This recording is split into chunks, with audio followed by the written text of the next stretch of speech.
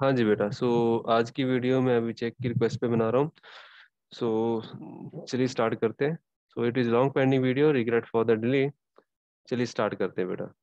सो so, ये problem ग्रेफिथ से ली हुई है।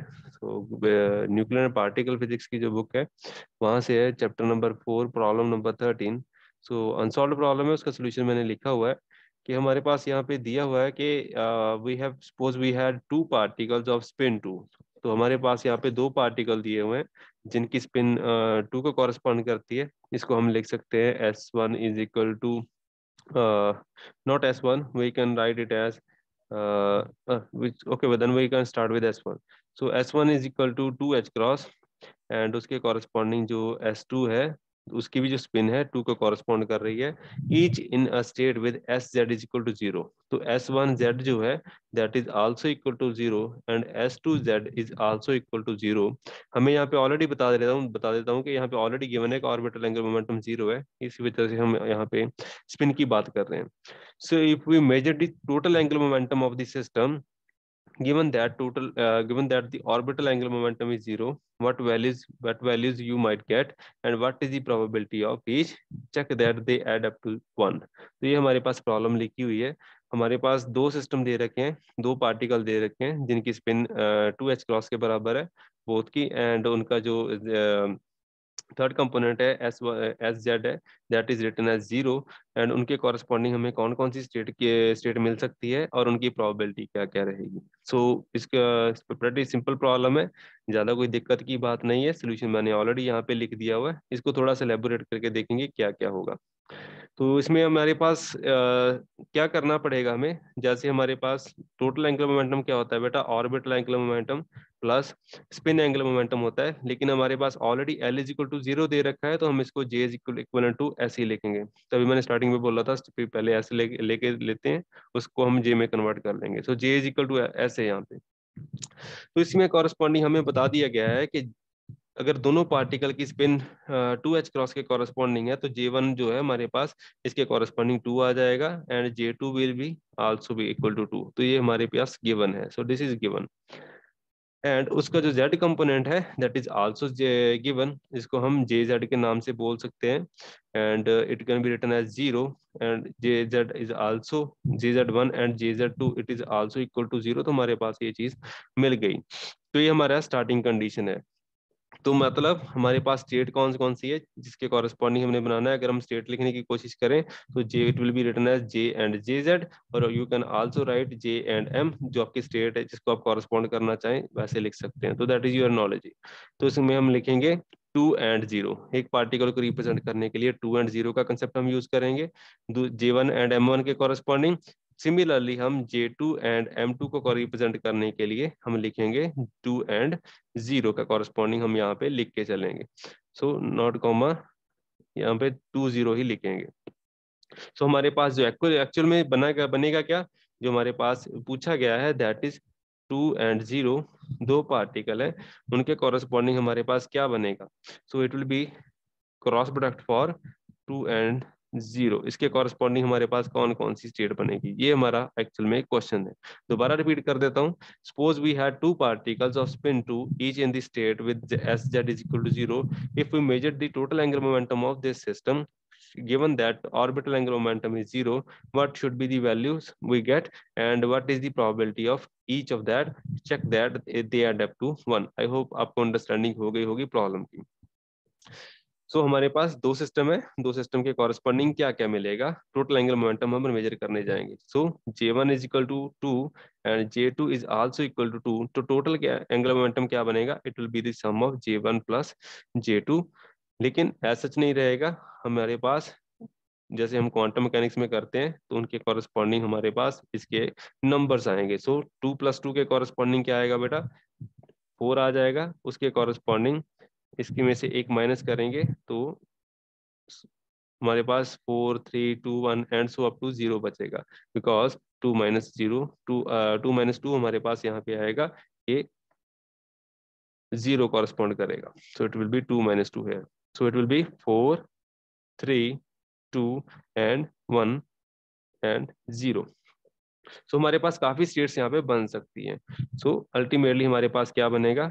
टू एंड ज़ीरो के कॉरेस्पॉन्डिंग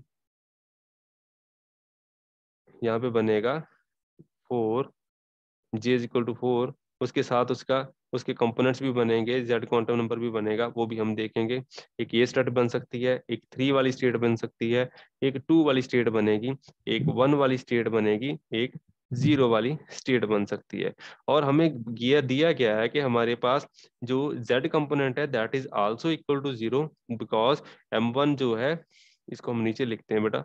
जैसे हमारे पास एम वन ज़ीरो दिया हुआ है एंड एम टू भी ज़ीरो दिया हुआ है, अगर इनको हम ऐड करेंगे एम स्कीम के कॉरस्पॉन्डिंग तो then M is equal to M one plus M two and resultant should always be equal to zero तो ये हमारे पास फाइनल स्टेट्स क्या बनेगी? Three zero four zero sorry four zero three zero two zero one zero and zero zero के corresponding हमारे पास ये पाँच स्टेट्स बन जाएँगी और इनके कॉरेस्पॉन्डिंग हम स्टेट्स देख पाएँगे। लेकिन अब बात आ जाती है कि इनके कॉफिशंट्स क्या क्या होंगे। So it will be A B C D and E के कॉरेस्पॉन्डिंग हमारे पास ऐसे कॉफिशेंट आने चाहिए। So all these coefficient we have to find तो हमें इनको फाइंड आउट यहाँ पे करना पड़ेगा। इनको फाइंड आउट करने के लिए हमें क्या करना पड़ेगा? So we need to we need to get C G coefficients so we need to let initial and final state तो उसके लिए हमें क्या करना पड़ेगा? क्लब्स गार्डन कॉफिशेंट्स निकालने पड़ेंगे। तो सीजी कॉफिशेंट क्या होते हैं? वो अब मैं किसी नेक्स्ट वीडियो में प्रॉपरली डिटेल में बताऊँगा आपको। आई होप आपने प्रीवियस लेक्चर वगैरह देखे होंगे तो सीजी कॉफिशेंट न्यूक्लियर फिजिक्स वाले लेक्चर में आपको मिल जाएँगे, कैसे कैलकुलेट किया जाता है या इसकी बेसिक डेफिनेशन क्या होती है।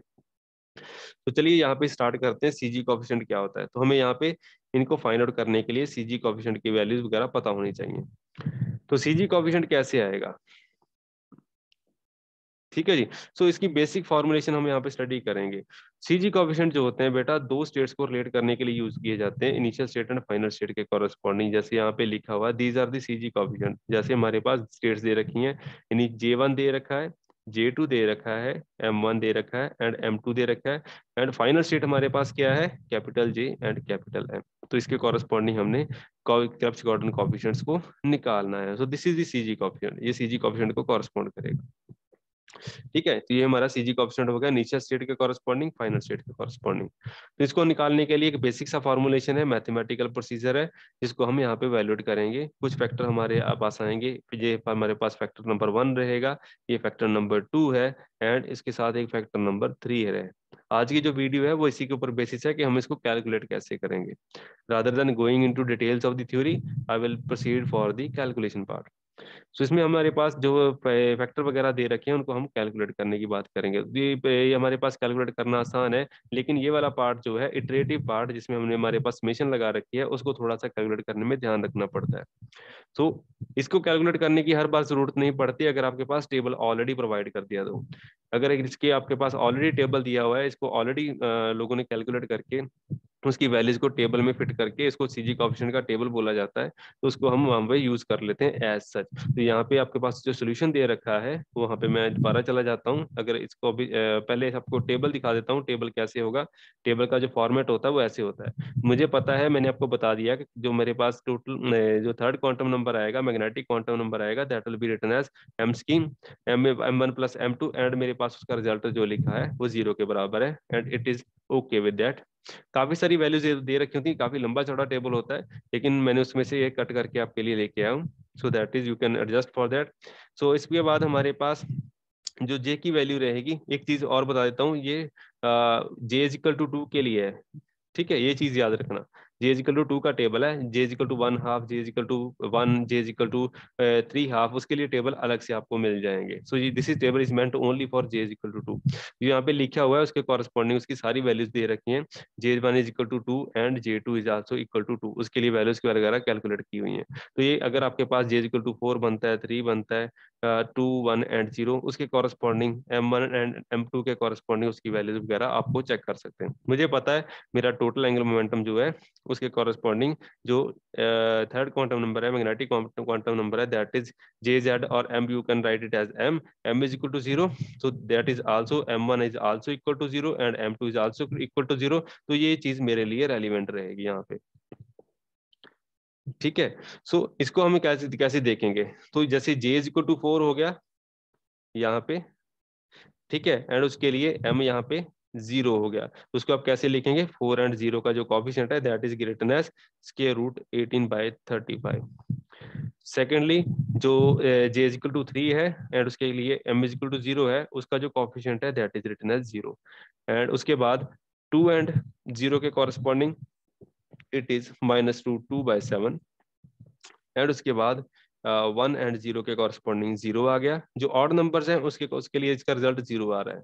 तो वो भी हम डिस्कस करेंगे कि आ, उसके बाद क्या है? ज़ीरो एंड ज़ीरो के कॉरस्पॉन्डिंग जो रिज़ल्ट है दैट इज़ स्के रूट वन बाय फाइव तो ये बस आपके पास वैल्यूज़ आ जाएँगी। इनको आप एज सच जो आपके प्रॉब्लम है, उसमें आप यूज़ कर सकते हैं। अगर आपके पास टेबल दिया हुआ है तो टेबल के कॉरस्पॉन्डिंग ये वाली वैल्यूज़ आप फिट आउट करके आंसर निकाल सकते हैं। तो अगर आपको ऑलरेडी पता है टेबल के कैसे यूज़ करना है तो आप इसको ज़्यादा प्रॉब्लम में नहीं आएँगे।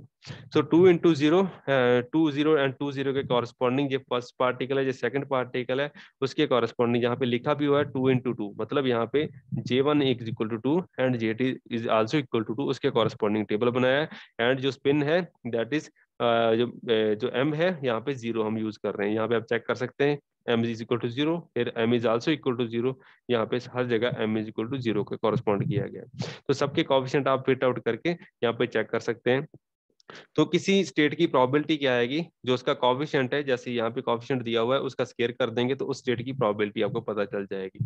तो यहाँ पे आपकी जो जे इक्वल टू फोर के लिए प्रोबेबिलिटी है, जैसे फोर ज़ीरो स्टेट है आपके पास, उसके लिए प्रॉबिलिटी क्या आएगी? जो उसका कॉफिशियंट उसका स्केयर कर दीजिए that will be eighteen by thirty five J equal to three के लिए आपकी जो स्टेट प्रॉबिलिटी वो ज़ीरो है, ये स्टेट वैलिड नहीं रहेंगी यहाँ पे। और उसको जे इक्वल टू टू के लिए, ये वाली जो प्रॉबिलिटी है that will be two by seven and J two one के लिए ये आपके पास प्रोबेबिलिटी ज़ीरो है and J equal to zero के लिए आपके पास प्रोबेबिलिटी आएगी that will be equal to one by five तो इन सभी प्रोबेबिलिटीज को जो वैल्यूज़ आ रही हैं, उनकी उनके कॉरस्पॉन्डिंग आप इंटरप्रेट कर सकते हैं। तो आपके पास टोटल प्रोबेबिलिटी जो है, वो that should turn out to be one तो इन सबको एडअप कर देंगे तो आपके पास फाइनल रिज़ल्ट क्या आ जाएगा बेटा? वन के बराबर आ जाएगा that is as expected for the question तो ये चीज़ आपके लिए रिज़ल्ट इसको वैलिडेट कर दिया जाएगा। तो that is the total problem तो मेन प्रॉब्लम आ जाती है यहाँ पे कॉफिशियंट कैलकुलेट कैसे करने तो उसके लिए मैं आपसे डिस्कस करता हूँ।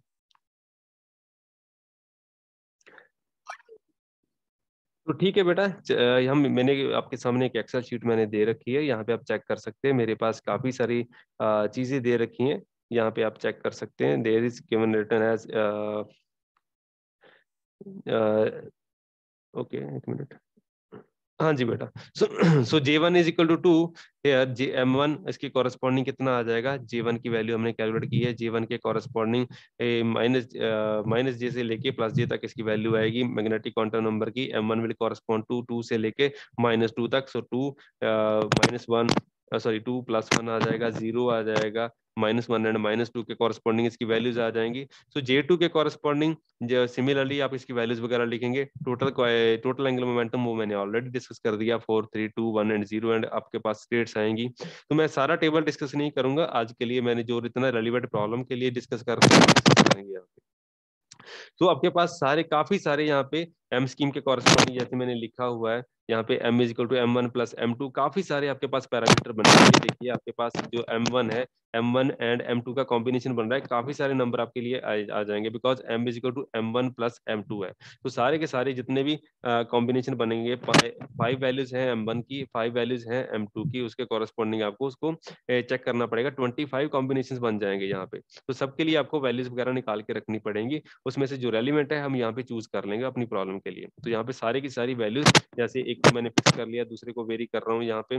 टू के लिए एम वन को फिक्स कर लेते हैं, टू के ऊपर। एम टू को हमने यहाँ पे वेरी किया हुआ है। उसके लिए सारी की सारी वैल्यूज़ लिखेंगे, लेकिन हमारे लिए यहाँ पे रेलिवेंट कौन सी वैल्यू है? ज़ीरो यहाँ पे। इसको मैंने येलो के साथ मार्क कर रखा है।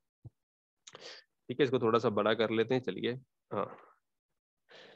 उसके बाद M one is equal to one के इसको फिक्स कर लिया। उसके बाद जो भी है, बाकी सारे का सारा फैक्टर हम यहाँ पे कैलकुलेट करते रहेंगे। हमारे लिए जो रेलिवेंट पोर्शन है, वो यही है कि एम इजक्ल टू ज़ीरो होना चाहिए, जो मैंने कंस्टेंट यहाँ पे लगा रखी है। तो जो मैंने येलो में मार्क किया हुआ है दैट इज़ आर कंस्टेंट कि हमने सिर्फ़ इस कॉफिशेंट के लिए ही कैलकुलेट करना है।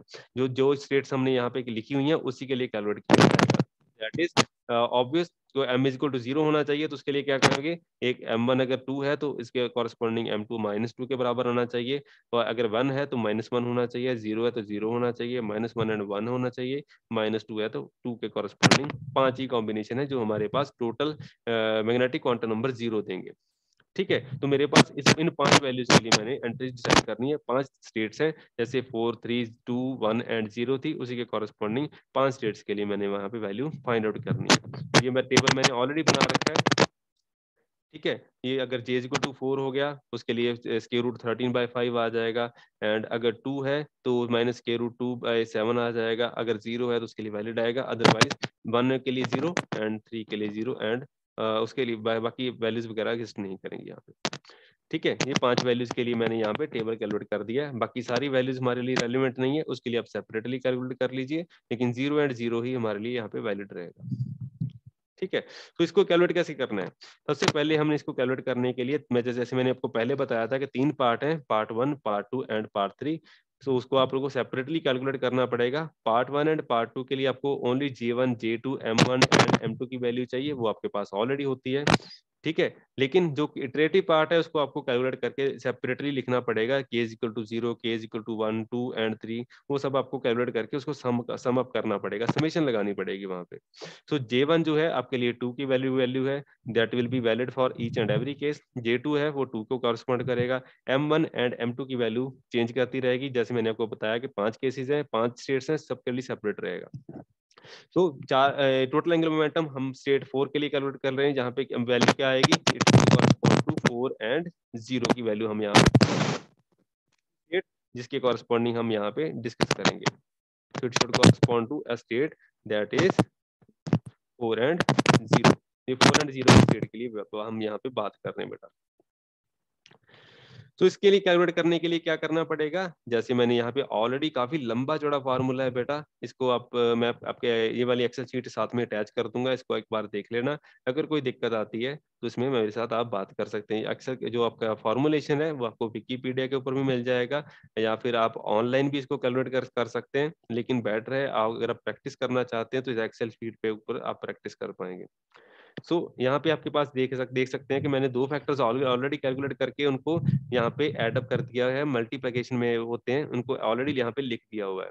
तो जो स्केयर रूट के अंदर फैक्टर रहेंगे वो सारे के सारे फैक्टर ऑटोमेटिकली कैलकुलेट कैलकुलेट हो जाएँगे। J one J two M one and M two and capital J and capital M के साथ। ये जो छह छह फैक्टर लिखे हुए हैं these are sufficient to calculate all those parts लेकिन जो थर्ड पार्ट बचता है उसको इटरेटिवली कैलकुलेट करना पड़ता है। इटरेटिवली कैलकुलेट करने के लिए आपको डिफरेंट डिफरेंट वैल्यूज़ के लिए इसको के, के की value zero K equal to one K equal to two K equal to three इसका नंबर वेरी करता रहेगा उसके लिए आपको इंटीजर वैल्यू के लिए कैलकुलेट करना पड़ेगा। लेकिन अगर आप इसके लिए एक कंडीशन होती है वो आपके साथ डिस्कस करूँगा। जैसे ही आप इसके के के लिए ज़ीरो की बात करोगे तो आपके पास ये वाला जो फैक्टर है आपकी वैल्यू दे देगा। अल्टीमेटली आपके पास जो रिज़ल्ट आएगा अल्टीमेटली यहाँ पे सी जी मैंने कैलकुलेट करके दिखा दिया आपको।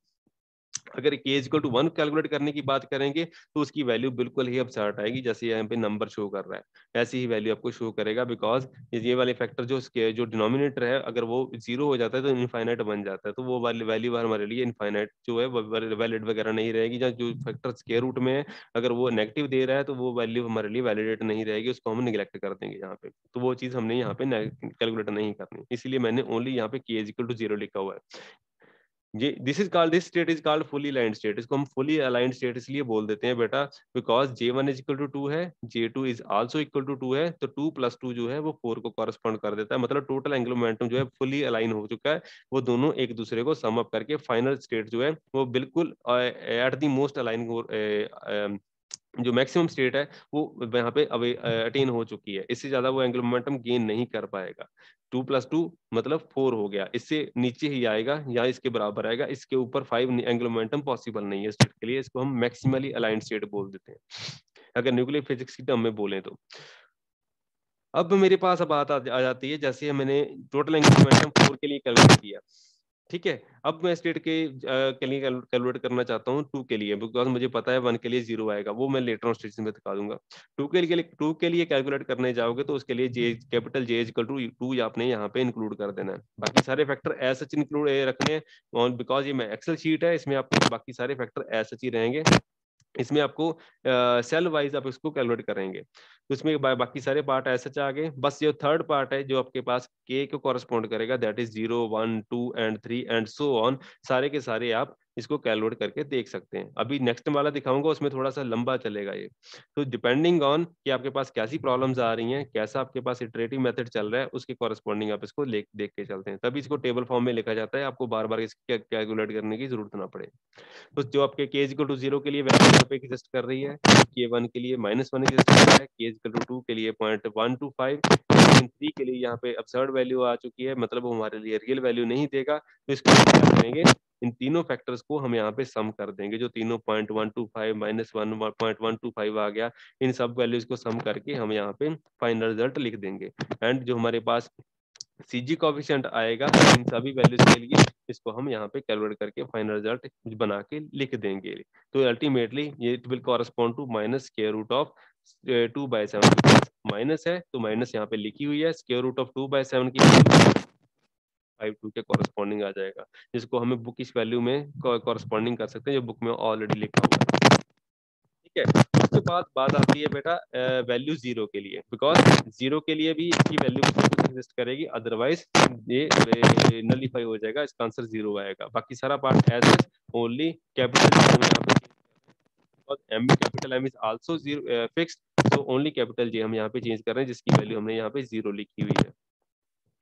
हमारे पास क्या आ जाएगा? इटरेटिव मेथड के लिए मेथड से पहले जो दो फैक्टर उनका जो हमने रिज़ल्ट यहाँ पे बना के रखा हुआ है, वो फिक्स हो चुका है सबके लिए, ज़्यादा कोई फ़र्क नहीं आएगा। ओनली फ़र्क कहाँ पे आएगा? जब हम इटरेशन अप्लाई करेंगे। So zero one two three four five six seven eight nine जहाँ पे आप जितना आगे लेके जाना चाहेंगे, ले जा सकते हैं, लेकिन उनमें से सिर्फ़ एक ही वैल्यू है जो टू के कॉरेस्पॉन्ड करती है that is validated point two two five के कॉरेस्पॉन्डिंग एंड जो फाइनल रिज़ल्ट है CG coefficient that is point four four seven two one four के कॉरेस्पॉन्डिंग आ रहा है and it's it it means square root of one by five तो one by five square root के अंदर, जो square root one by five को value correspond करेगी, चाहे इसको न्यूमेरिकल फॉर्म में लिख लीजिए, चाहे नंबर फॉर्म में लिख लीजिए, वो आपके लिए वैलिड रहेगा। हैं ओनली सिर्फ़ एक वैल्यू के लिए यहाँ पे रिज़ल्ट एग्जिस्ट कर रहा है इटरेशन में बाकी वैल्यूज़ के लिए नहीं आएगा। तो ये दिस इज़ इटरेटिव मेथड ये आपको बाय हैंड करके देखना पड़ेगा। अगर आप प्रोग्राम लिखना चाहते हैं तो प्रोग्राम के अंदर भी आप इसको यूज़ कर सकते हैं। आप न, जो आपके अपसर्ड वैल्यूज़ को ज़ीरो का क्लेम कर सकते हैं। जैसे यहाँ पे अगर अपसर्ड वैल्यू आ गई इन्फिनिटी आ गया या कुछ अयोटा वाला फैक्टर आ गया तो उसको आप नलीफाई करके ज़ीरो क्लेम करके फाइनल रिज़ल्ट लिख सकते हैं। दैट इज़ ऑल इसमें आप चला सकते हैं। अब बात आ जाती है बेटा, अगर जो ऑड नंबर है ऑड नंबर के लिए जैसे मैंने बताया था वन एंड थ्री उसके लिए कॉरेस्पॉन्डिंग जो वैल्यू आएगी that will turn out to be zero कैसे ज़ीरो आएगी, वो मैं आपको बता देता हूँ। यहाँ पे आपने जो फैक्टर कैलकुलेट किया है पहले दो फैक्टर की वैल्यू हमेशा ही कॉन्स्टेंट रहती है, जैसे हमने पहले भी देखा। ओनली इटरेटिव पार्ट जो है, वो यहाँ पे डोमिनेट कर जाता है। सब वैल्यूज़ के लिए, बाकी सारी वैल्यू पहले दो को छोड़ के सब वैल्यू ऑब्ज़र्व है। उसके बाद उससे पहले वाली जो दो वैल्यूज़ है, एक में पॉइंट टू फाइव आता है, दूसरे में माइनस पॉइंट टू फाइव आएगा आएगा। तो अल्टीमेटली यहाँ पे रिज़ल्ट आपका ज़ीरो ही दिखाई दिखाई देगा। फिजिकली समझना हो तो इसको आप इक्वेशन से भी समझ सकते हैं। जो अगर न्यूमेरिकली समझा है तो यहाँ पे आपके पास सीजी कॉफिशिएंट जो है ज़ीरो वैल्यू के लिए पॉजिटिव वैल्यू दे रहा है वन के लिए माइनस नेगेटिव वैल्यू दे रहा है। तो उन दोनों को एडअप करेंगे फाइनल रिज़ल्ट क्या आ जाएगा? सीजी कॉफिशिएंट के corresponding it will turn out to be zero. तो अल्टीमेटली आपके पास सीजी कॉफिशिएंट यहाँ पे ज़ीरो हो जाएगा for the case of J is equal to three उसके बाद हमारे पास जो भी वैल्यू आती है, जैसे हमारे पास वन वाला केस आ गया ऑड नंबर आ गया जे इक्वल टू वन तो वहाँ पे सिमिलरली आप यहाँ पे दे सकते हैं ज़ीरो के लिए अब सर्ट नंबर आ रहा है मतलब वो डिफाइंड नंबर नहीं है तो वन एंड टू के लिए यहाँ पे आपके पास नंबर आएगा तो उन दोनों वैल्यूज़ को आप यहाँ पे डाल के इसका रिज़ल्ट ट्राई कर सकते हैं। कि आंसर क्या आएगा तो it should turn out to be a zero otherwise यहाँ पे वैलिड नंबर होना तो यहाँ पे आपके पास ज़ीरो बचता है। मतलब क्या हुआ? J equal to four J equal to two and J equal to zero के लिए हमारे पास ये नंबर्स एग्जिस्ट करते हैं सीजी कॉफिशिएंट एग्जिस्ट करते हैं। अदरवाइज़ इनकी वैल्यू जो रहती है वो ज़ीरो ही रहती है। सो वन एंड थ्री के लिए ज़ीरो है, बाकी सारे फोर टू एंड ज़ीरो के लिए इसकी वैल्यू जो है वो एग्जिस्ट करती है। So that's uh, the whole process जो आपने यहाँ पे यूज़ करनी है to calculate out the to calculate the CG coefficient तो यहाँ पे जो भी square root under the root of 18 by 5 35 यहाँ पे जो लिखा हुआ है एंड जो यहाँ पे ज़ीरो लिखा हुआ कैसे आता है वो मैंने आपको समझा दिया बेटा। अगर इसके बाद भी कोई दिक्कत रहती है तो मेरे साथ आप बात कर सकते हैं। Otherwise I hope things should be clear जो आपके पास एक्सेल शीट है वो मैं आपको uh, अपनी जो वीडियो है उसके साथ अटैच करके भेजूँगा ताकि आप इसको प्रॉपरली समझ पाए कि सीजी कोएफिशिएंट को टेबल के बजाय अगर आप सॉल्व करना चाहें डायरेक्टली बाय हैंड तो आप इसको कैसे सॉल्व कर सकते हैं? अगर सिंपल केस होता है तो आप डायरेक्टली सॉल्व कर लेंगे, लेकिन अगर आपके पास ऐसा कोई टेक्निक, मेथड आ जाता है, जैसे मैं, जैसे आपके टू ज़ीरो टू ज़ीरो के कॉरस्पॉन्डिंग सॉल्व करना है, two one and two minus one के कॉरस्पॉन्डिंग सॉल्व करना है तो आपको एक्सेल शीट वहाँ पर यूज़ करनी पड़ेगी। तो एग्ज़ाम की बात अलग है, एग्ज़ाम में आप काम काम मुश्किल कर पाओगे, लेकिन ऑन अगर आपको असाइनमेंट मिलती है तो असाइनमेंट में ये चीज़ आप आसानी से कवर अप कर पाओगे। तो जो मैंने आपको बताया था, एक इटरेटिव पार्ट की बात कर रहे थे, इटरेटिव पार्ट ये वाला है बेटा के इज़ इक्वल टू ज़ीरो के लिए वन के लिए आपको यहाँ पे सॉल्व करना पड़ेगा। बाकी सारे ये वाले पहला फैक्टर है या दूसरा फैक्टर है, इसको आप नोमेरिकली आसानी से सॉल्व कर पाओगे। ये सबके लिए वैल्यू फिक्स रहेगी। Only iterative part is equal to zero one two and so one उसके लिए वैल्यू सॉल्व करोगे। अदरवाइज़ आपके लिए यहाँ पे काम करना मुश्किल हो जाएगा। इटरेटिवली एक्सेल शीट में कैलकुलेट करना पड़ेगा। बाकी कुछ इसकी स्पेशल कंडीशंस भी होती हैं, वो हम लेटर लेटर ऑन से इसमें डिस्कस कर सकते हैं। बाकी सारे की चीज़ों के लिए आप इंटरनेट में भी सर्च कर सकते हैं। वहाँ पे काफ़ी सारे प्रोग्राम्स भी लिखे हुए हैं सी जी वगैरह कैलकुलेट करने के लिए। आप वहाँ से आप टैली टैली भी कर सकते हैं कि अगर आपने सी जी ठीक निकाला है कि नहीं निकाला, या फिर आप टेबल फॉर्म में भी चेक कर सकते हैं। तो ऐसी न्यूमेरिकल प्रॉब्लम्स के लिए जो ग्रिफिक्स की बुक में दे रखी है पार्टिकल फिजिक्स के कॉरस्पॉन्डिंग वो ऐसे सॉल्व की जाती हैं। So thank you very much see you next time बेटा।